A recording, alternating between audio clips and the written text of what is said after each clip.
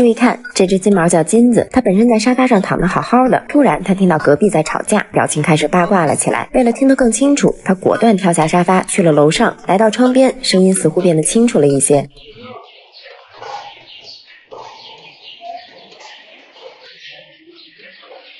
就这样，好奇的金子坐在窗边听起了热闹。通过他的表情，也不难看出他八成是把自己给带入了。过了一会儿，邻居的吵架声越来越小，他听不见什么了。这下金子可郁闷了，想着换个地儿能不能听得更清楚呢？于是赶紧换位置。他甚至还犹豫了一下，去哪个方向更好。然后他选择了下楼。这是第三视角里的八卦金子。快看看，这谁家的小狗这么可爱呀？我家的，八卦猫，你见过吗？太可爱了吧！然而这个位置可能还是不能满足他的需求，于是他又要换地儿了，选择再下一楼，那就是院里。嗯，这儿听得确实清楚，这货一天天真操心呀。是金子吗？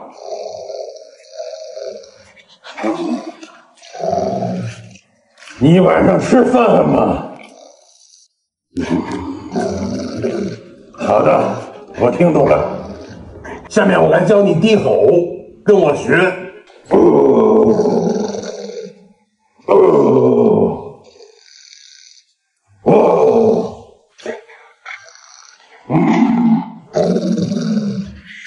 哈哈哈哈哈哈！哦哦哦，你下去，你下去，我热，下去。今天第一顿餐，炖鸡肉，清炖鸡肉加两根胡萝卜，行不行？啊，嗯，行。你一听说炖鸡肉，你又乐了。明儿还有牛肉呢，后头还吃羊肉呢，知道吗？再过两天，老爷给你弄点那个驴肉，驴肉，驴肉行不行？啊，行吧？明天还为你在那等着我，听见没有？回去吧，明天见啊！我们又来找小黑来了，就您在这干活，就看见过这个小狗吗？没看着，没看着啊？没看着，没看着那个花絮的。哦，行，谢谢啊。哎，不要。哎，这喜鹊这还叫，这找小黑找着找着喜鹊叫回来了，什么喜事儿？能碰见一会儿。哎，不是我看见有小狗吗？就在树林里。小花脸。晚上吃完饭，姥爷遛弯了，咱还上这儿来，看能不能看见小黑。晚上可能还有点戏。但是你要按他的生活习性，这时候干嘛呢？睡觉呢？嗯，出来玩呢，因为每次我们双生一出来都这样。他也不怕人，看见人都。那连着咱们找好几天了，小黑，咱进去问问这个里面看门的，听说这儿有人影，看看。有人吗？我们看看那小狗，小黑，您看见吗？这两天，就这小花狗，没见过，没见着是吧？没见过，也没来过咱们这儿。老有人说说，可能咱们这儿养，不是咱这儿养的是吧？啊，咱们老看见那小花，您这两天也没看见啊？没看见啊？嗯，真的。所以就好多人都关心他，哎呀，问那小狗哪去了？是不是？咱那哥跟人家挺亲近的。这找小黑，我脚都崴了，跑了好几天了，脚都崴了。可能从那天播完那视频以后，估计小黑不知道让谁给领走了，肯定有好心人。大家好，跟大家交代一下，我们呢也找了，大概找了几天了，又得找了四五天了。从视频开始到现在，我们一直在。寻找小黑，但是很遗憾没找到，因为我们早中晚都来，已经来了都快二十多趟了。哦，也问了这附近的工人师傅，还有这些遛狗的朋友，这两天大家都没看见。对，所以说他肯定找到好的归宿。大家说一下，我们不是说不养它，我们也愿意，但是我们没有这个能力，因为我们家里本身有两个，一只金子，一只银子，哎，所以我们家已经超负荷了。大家呢，那个有愿望是好的，我们也很感谢大家信任我们。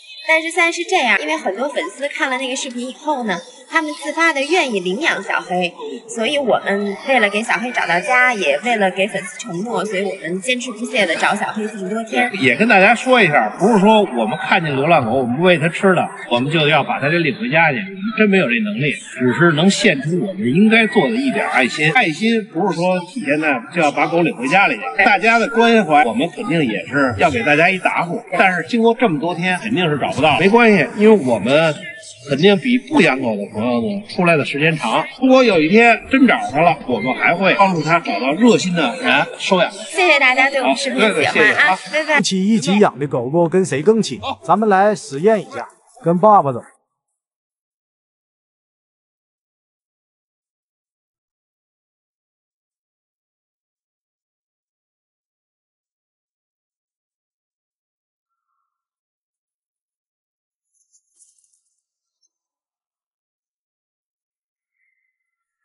再试试跟妈妈走。银子，快！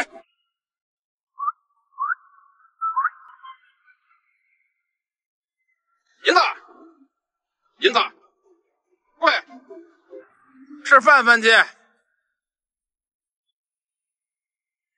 有用吗？哎，这臭小子，又跟你打起来了。哟，这人打起来了。见着黑板就呜呜，是吧？姥爷要不在的，没姥姥牵着你出去，人家要咬着你怎么办？你那么老实巴交的孩子，你也不会不会打架，听见没有？过来，金子，下回咱不能呜，人黑宝比你大，知道吗？大小伙子，知道吗？啊，而且人家都特别喜欢你，知道吗？不能见着狗就汪汪，知道吧？汪汪的狗人都不喜欢，听见没有？听懂了是吧？下回不许跟人打架了，听见没有？打架啊！哎，乖乖的，听见没有？我姥姥擦脚脚去了，擦脚脚来，过来，宝宝。擦脚去了，擦脚去了。擦脚脚，好宝宝，那好宝宝，擦脚脚啊。躺躺了，躺躺。哎呦，好宝贝。哎呦，好好好。看看我们家这三只狗，谁坐车最乖吧？每次开车出去啊，特喜欢带金子，因为是真省心。它就乖乖在后排坐着，不晕车也不闹，而且特别喜欢看窗外，对外界的事物有着强烈的好奇心，特别好玩。开车带银子是让我最头疼的。首先，它是个话痨。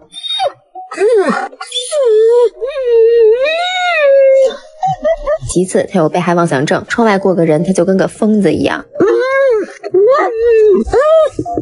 更让我头疼的是我们家小王子，为了解决他晕车的问题，我尝试过很多种方法，拿玩具逗他，让他哥哥陪着他，抱着他等等，不过貌似都没什么用。哎呦我去，赶紧跑吧！想要彻底解决银子的多动症和王子的生无可恋，得让他们俩在车上有点事儿干才行。听说别克昂扬专门改造了一辆宠物出行车，咱们去体验一下，就是它昂扬 GS。这车后排的空间也是相当的宽敞，让他们玩累了的话，可以在后边那个隔离区域休息。这车动力好足哎，而且响应也特迅速。这昂扬开起来是又稳又平顺。看小王子也没有晕车的症状。像他们在外边玩，难免身上一身土嘛，然后又怕把车踩脏了什么的。这个车在地板的夹层配有水箱，只要把淋浴喷头从车尾拉出来，就能给他们冲洗。咱们放个音乐吧。昂扬这个车呢，音响音质也很高级，感染力十足，尤其是这个低音效果太棒了。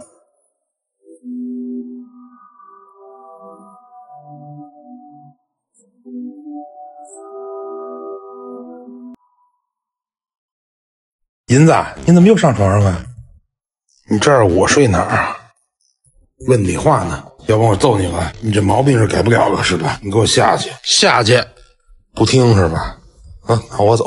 哎，别呀，怎么还生气啦？可不是说不让他躺床上，主要啊，他就跟你好，不一视同仁。我要躺那儿，他也跟我抱抱多好啊。这孩子偏心眼儿。哎，你是不是希望你躺那儿，然后他蹭一下就上去了？那当然啊。那我给你好东西，有这个一棉格子枕就行了。它滑滑的，还倍儿软和，摸着跟皮肤似的，所以银子喜欢躺。还有口水或者毛掉上边，能直接水洗，一擦就干。原来窍门在这儿啊！那我试试。啊！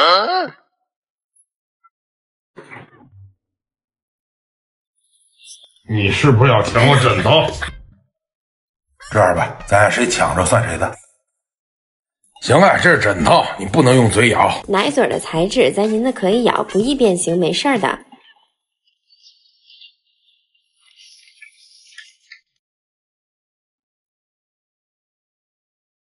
给我呀，你那么喜欢这个，送你吧，给你了。上期讲了金子跟着姥爷过着出生即退休的生活，那今天咱们来讲讲金子的弟弟银子小朋友。银子这边就跟金子截然不同了，银子小朋友还是非常自律的，白天没事儿就学点技能，运动量也得跟上，跑跑步、健健身，不然对不起咱这帅气的外表。睡着了也看家。谁啊？还知道观察主人的情绪，时刻准备着献出温暖的抱抱，脾气超级好，把所有的温柔都给了我。养只德牧确实能预防家暴的。我老公跟我说话稍微声大一点儿，银子一个闪现就挡在我前边了，出门就更是了，紧贴着我走。安保这块可以说是尽职尽责，安保部的。我也有心想让银子也谈个恋爱，可是银子压根儿就不开窍，见到小母狗就跟没看见一样，正宗妈宝狗，这也让我很苦恼。这孩子不光爱学习，还有建别墅的大追求，每天辛苦搬砖，没有一天落空的，见到砖头木头就想往家扛，小小年纪就肩负起了养家的重任，也是不容易呀。说个正经的，有没有哪个丈母娘看上我们家这任劳任怨的大黑狗的，介绍你们家姑娘给我们认识认识呗？彩礼要多少个罐罐？你说了算。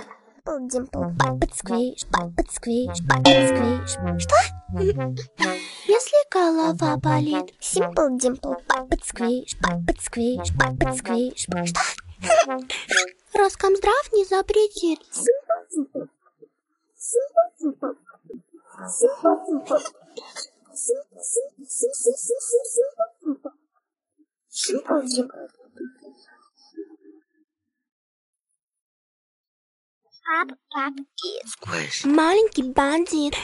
狗子。分得清零食袋和普通包装袋的声音吗答案是肯定的。银子作为一只资深馋狗早就对各种包装的声音了如指掌。今天咱们来测试一下它先拿出袋装的。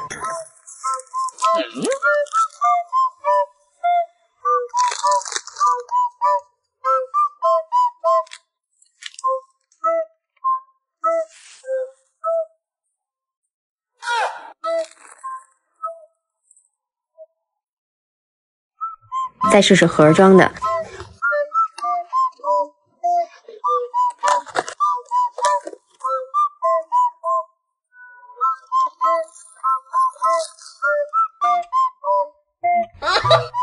给吧又不合适，有时候想想他短短狗剩十几年，吃两口就吃两口吧，但是他一吃起来就没完，而且零食丝毫不影响他吃正餐，每天炫几斤肉那都是家常便饭。我老公知道银子是个资深吃货，所以每次囤肉都是几十斤的囤。看这一堆肉，你们也不难想象养一只大狗的花销吧？一礼拜三十斤肉养不起啊！你也该找个工作补贴点吧。那不成，银子那么粘人，我怕去上班了没时间照顾他们呀。你找个轻松点的工作不就行了？我也想过，但是感觉轻松的工作没得选啊。你是五万同城啊，岗位超多，咱家附近就有上千家企业在招聘，离家近还双休的工作还不任你挑。这么多啊？那是，而且投完简历能直接给老板打电话，有啥直接问，反馈快又省事儿。可以可以，我一会儿就看看。银子是吃完了，给我都看饿了，咱出去吃点东西。走。银子，爸妈妈出去吃点东西去，你在家等着啊，乖啊。你去干嘛去？你看他先出去，我去找垃圾去啊。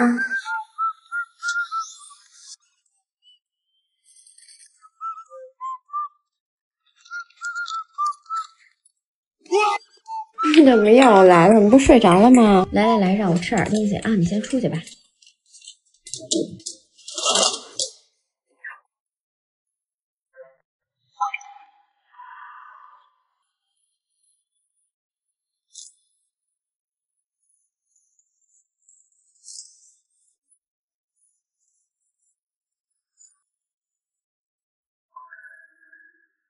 每一次下雨就会想到你，莫名的思念找不到。以后让你在一层，你就在一层，别给我上楼下的跑。我们上，你在底下等着我，一会儿我会下去。每天就跑两三趟啊！睡午觉的时候跟着上来，晚上睡觉时候跟着上来，然后你就固定在一层啊，因为你后怕先天缺陷，别闭眼，有缺陷。你这么跑两年，你这完事儿，你拖着胯走了，是不是？胯骨头都掉了，是不是？别不耐烦，听好了啊！以后我让你上来，你再上来，一天不能超过三次，不许一会儿一趟，一会儿一趟，一一天四十来次，是不是？给你挂一微信计步器，你能跑一第一。你这样的话，你那胯怎么办呢？啊，不知道自己是德牧啊，小短腿儿。舅舅好，姐姐好，姐夫好。哎，好，来来来，舅舅你回来了。快坐下歇会儿。坐下吧。吧，今天八菜感怎么样啊？报姐姐非常好。啊！我来给姐姐表演一下，来，金子，坐坐坐坐，哎，听话，握手。听我口令，向左转，嗯，向右转，快，上去。啊！就走，一二一，一二一，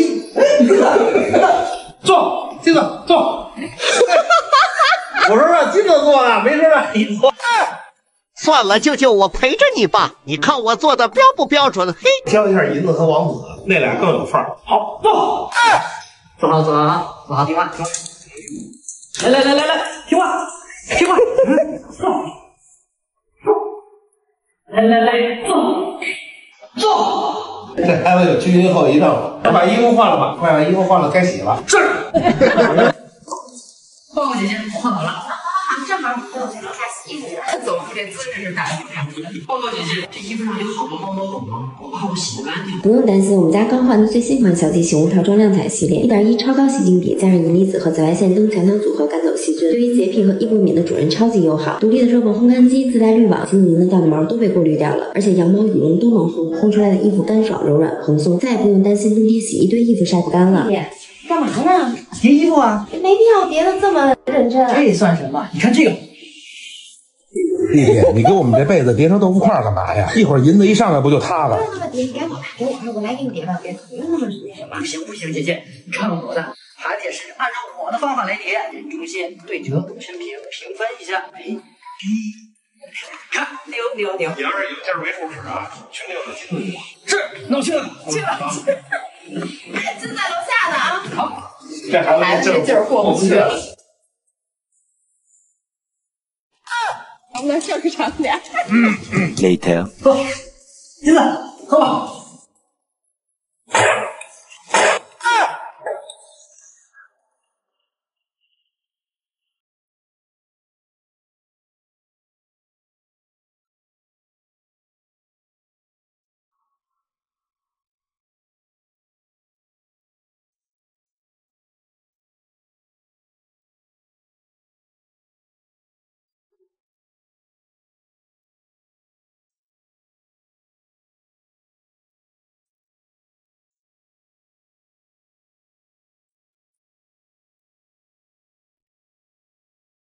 去妈妈家来了，行吗？金子跟我回去吧。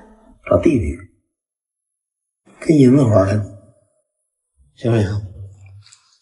看我这眼神。行吧，金子，跟我回去吧。金子，跟妈妈走吗？上妈妈家待着。爸找爸爸，找银子，银子弟弟，明天再回来，行不行？弟弟可长高了，又高又大。他小时候他欺负你说，听说他大了说要保护你，你信吗？你信吗？姥爷都不信，你信吗？绝对不信。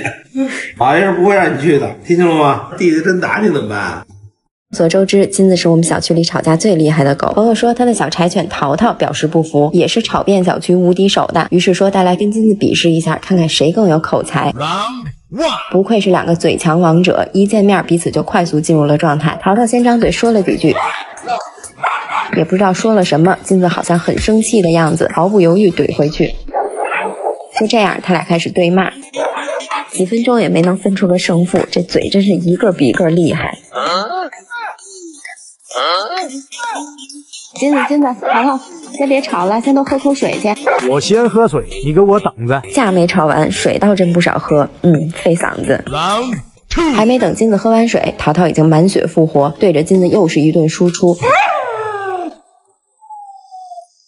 金子也必须不能怂。一分钟后，我发现金子明显快词穷了。面对淘淘持续的口吐芬芳，金子的反应速度越来越慢，表情也略显得不知所措。紧接着，淘淘换了个语调，这下彻底给金子聊懵了。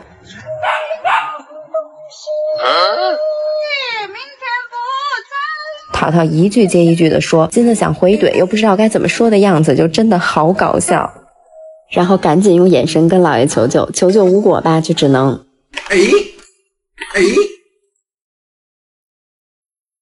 Round three，吵赢了的淘淘笑得合不拢嘴，吵输了的金子郁闷的趴在地上愁成了表情包。还没等金子总结完失败的原因，战斗桃又来了。金子本身还想再努力挽回一下面子，没想到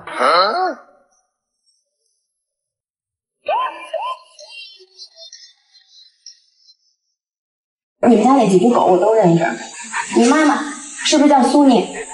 啊，你爸爸是不是叫奎森？你还有一个姥爷叫沃德，你还有两个姨，一个叫苏珊，一个叫苏菲，对不对？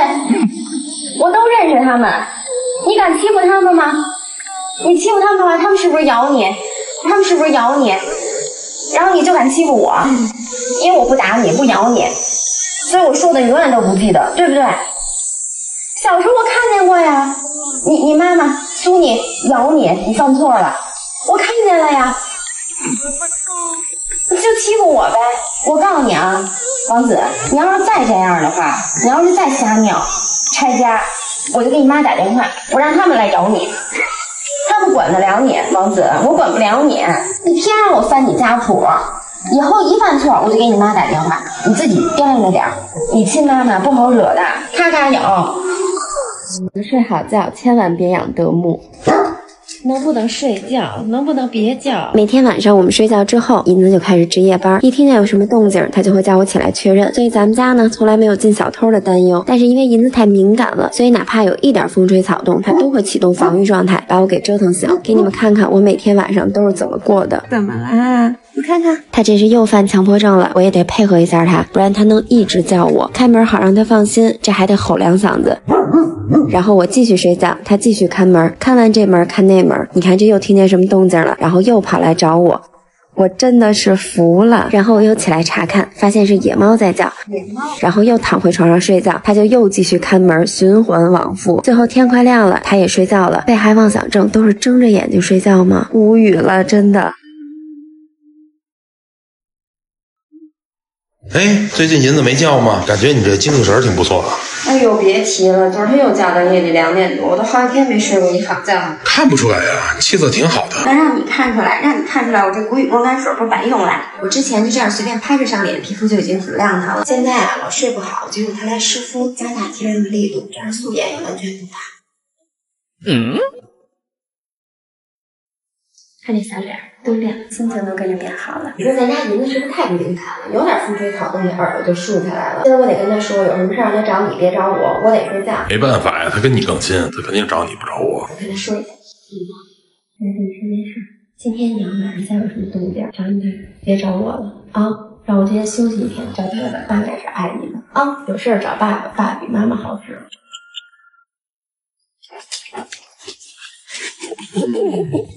嗯，干嘛呀？银子又折腾我了，是不是？哎，我跟你说，能有什么事儿？嗯，回来吧。嗯，你干嘛呀你啊？让不让我睡觉啊？别再叫我了。啊！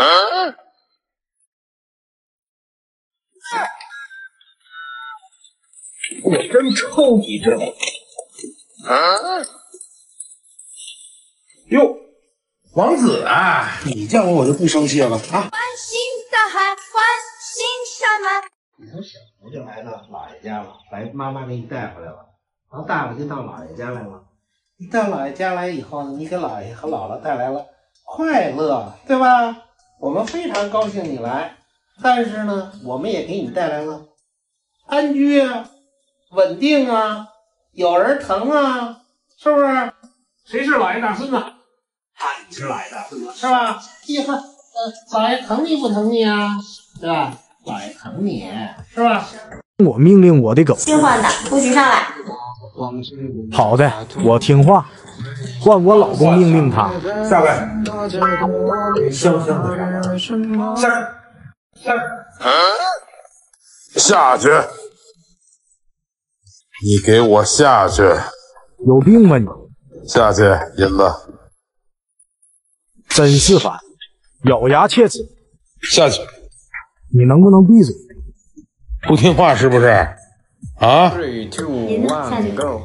好的，我只听妈妈话，眼里只有妈妈。啊，在这坐着啊。走，银子，吃饭呗，走。那忧忧心忡忡的，两天都没吃饭了呗。银子，就这么一直待着啊？你小王子都吃完饭了，你还不吃饭？你妈这没事啊，她很快就好。但是你这不吃饭不行，她会心疼你的。得跟我吃饭去啊！过来，银子，吃饭来，必须吃饭。走，过来，吃饭来，走。银子，吃饭来，吃饭来，来吧，走。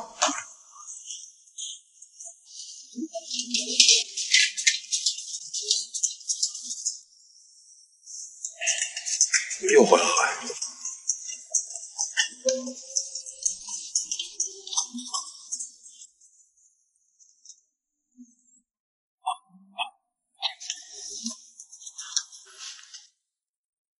不用一直陪着他，他很快就好。吃饭去呗，跟我啊，一步不离。不吃饭行，不能不见着你。汤圆儿，嗯，你知道他为什么这样吗？为什么呀？他想汤圆了啊！人汤圆出去旅游去了啊！他天天站外头等人家，一礼拜没见着了，跟失恋似的，茶不思饭不饮，每天现在就吃一顿，而且就吃的非常少，剩余的时间就是躺下。我也心疼他呀，我说给汤圆他姥爷打了一电话，我说汤圆什么时候回来啊？老刘姥爷说还得四五天。哟，我说那金子你还得坚持四五天。金子说完了以后倒头就睡了。你看，天天想汤圆流哈喇子，我这给买了一口水巾，一提汤圆就流哈喇子。金子，妈妈采访你一下，你作为咱们家最社牛、最外向的小狗狗，你有什么话要说吗？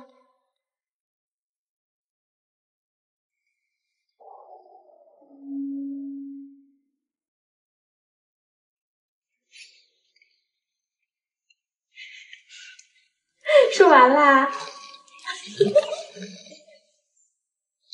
说完，说完啦，哦，真棒，今天真棒。林仔，你作为咱们家最英勇帅气的小朋友，你有什么想说的吗？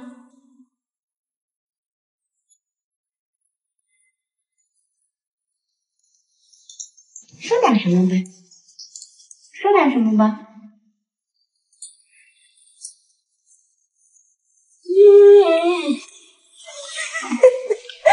出去玩儿，那你去吧。祥子，妈妈采访你一下，你作为咱们家最温柔绅士的小狗狗，你有什么想说的吗？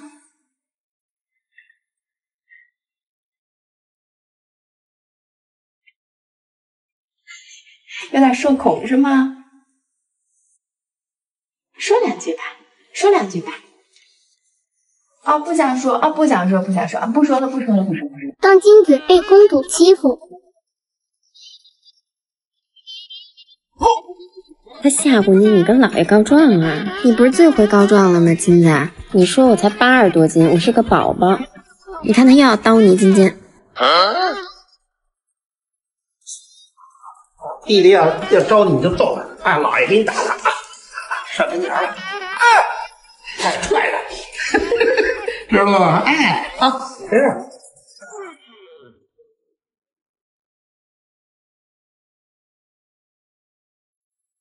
你们都说金子长得显老，说他总是一副愁眉苦脸的样子。看着你们的评论，再转头看看我的大金子，儿子，你长得确实与众不同。所以我就在想，他是真的就长这样，还是他真的不开心呢？为了解决我的疑问，我给他拿出了他心爱的零食，他很开心，露出了期待的笑容。但在吃完的那一刻，笑容已经消失。又拿来一个新玩具，他也笑了。但在拥有的那一刻，笑容消失。我又带他出去玩，发现出门的时候他也是有笑容的，但在回家的那一刻，笑容消失。放几集动画片给他看，全程也是有笑容，但在关闭电视的那一刻，笑容消失。所以在金子的世界里，快乐大概是这样排序的：动画片大于出去玩，大于吃零食，大于新玩具。但这些快乐终究比较短暂。我在思考一种能让他持久快乐的方法。汤圆儿，嗯，也是，自从搬家以后，金子也有日子没见到他的女朋友了。原来每天晚上都要一起遛弯，不见到汤圆绝对不回家。再看看现在呢，跟单身狗也没啥区别。今天天气正好，不如带着金子去约会吧。金金，一会儿就能见着汤圆了啊！你好，小安，打开后排车窗，正在开启后排车窗。离汤圆家多少公里啊？八十多公里呢，所以今儿咱果断开这台 UNI-K 智电 IDD，NEDC 纯电续航一百三十五公里，咱们过去纯电模式就足够了，经济又实惠。UNI-K 智电 IDD 的儿童模式特别适合带孩子和宠物出行，我能在中控上实时看到金子在后排的状态，大平层空间和纯平地台也足够他在后边撒欢。这台新能源大五座 SUV 也特别适合跑长途，主驾座椅三种模式，五种力度按摩可以缓解驾驶疲劳，边开车边按摩多享受啊！以后咱们可以开着它带自己去海边。这台车 NEDC 综合续航超过一千公里，跑多远都不怕。你好，小安，换首欢快的音乐吧。快乐的池塘里面有只小青蛙，见到汤圆的金子真的是抑制不住内心的思念，对着汤圆一通表达。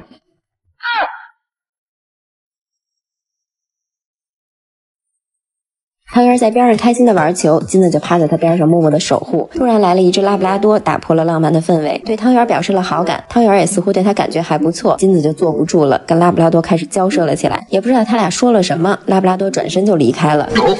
然后金子又美了。回到家以后，累坏的金子美美的睡觉。第二天起床，金子还是很开心，乐得合不拢嘴。第三天起床，金子还是乐得合不拢嘴。我终于找到了能让金子持久快乐的方法，那就是让他多见他的女朋友。哎，你说银子怎么没有那么多精神世界需要丰富？我想，可能银子的世界只有妈妈吧。你看金子那么丰富的表情就知道了，它一定是一只有很多想法的小狗狗。金金，以后妈妈每周都开车带你去找汤圆，好不好？